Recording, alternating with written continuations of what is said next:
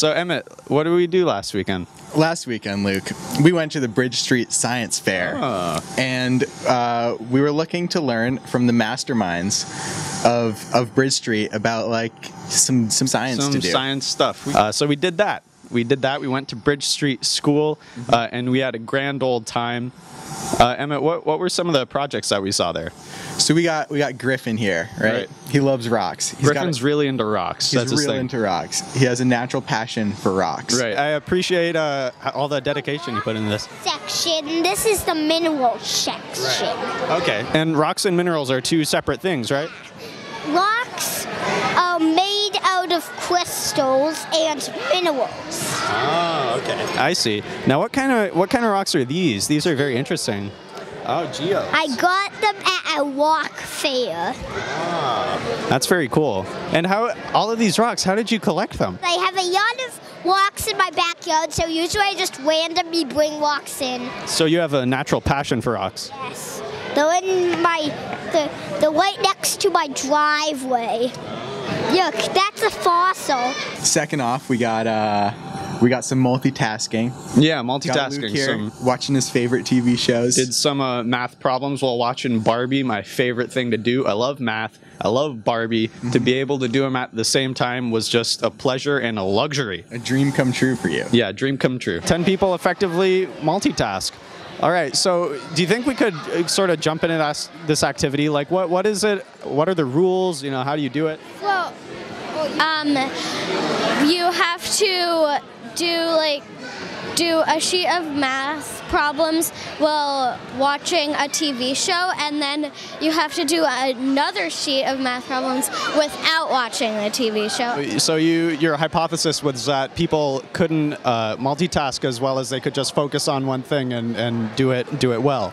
Okay. So do you think we could we could try to do your your activity here? Sure. And uh, so is it, these are these are your uh, these are your math sheets, and I assume that this is for uh, watching the TV show. Yeah. Scientific purposes only, Luke. Yeah, scientific purposes only. I think, I think this one's got your name all over it. Luke. Oh boy, do I love Barbie.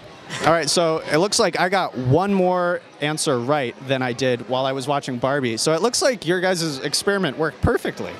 One thing we did Yes. was we looked at a survival bear. Exactly. And a survival bear, for those who don't know, is a bear, a, a teddy bear basically, designed for survival situations. So you bring this teddy bear out into the, the disaster world with you, mm-hmm. and you can survive with ease. Our invention is a stuffed animal bear that has survival equipment and tools attached for any kind of catastrophe.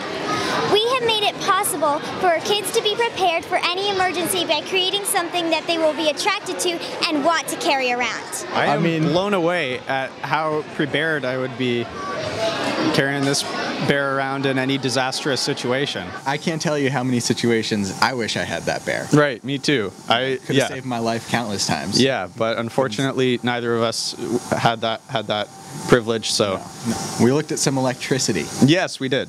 We looked at electricity. We had potatoes, Potatoes, lemons, we got batteries, got batteries. all of them powering LED light bulbs, Yeah. but like for, for separate amounts of time. So we tried to use potatoes, lemons, and batteries to power an LED light bulb. And it turns out that they all do, but in a certain amount, like they last in like a certain amount of time. As you can see, the lemons lasted 9 hours 30 minutes, the potatoes lasted 10 hours 11 minutes, and the batteries are still going. In 16 days. How many potatoes would it take for me to power my house? Do you think? Uh, probably 2,000. You know, you, you gotta wonder why people are still using fossil fuels when you can just use potatoes Exactly. or maybe lemons. Yeah. I mean, it, it would only take 2,000 potatoes for me to power my house. So. Exactly. So why not just go for it? It's way less that. expensive than a, a large hadron collider particle I don't cannon. even know what that is. Me neither.